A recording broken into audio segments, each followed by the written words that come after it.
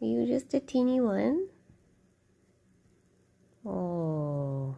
Are you peeing? Yes, you totally are, but that's fine. At least you're not peeing on the chair.